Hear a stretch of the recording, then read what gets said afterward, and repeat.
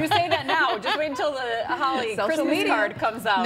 No. My children on a Christmas photos. card, not Otis and Maya. I mean, maybe with the kids, but yeah. All right. Well, speaking of our kids, we've got our special Akron Children's Hospital bus stop edition for you again this whole week and next. And we are in the 60s this morning. It's a lovely start to the day. It's a Victory Tuesday. I think we've all got an extra jump in our step, despite the fact that we're maybe feeling a little sleepy from uh, staying up for the game. But it's a good sleepy, right? And the weather looks great today. Partly to mostly sunny skies. We'll end up highs in the 70s, just slightly.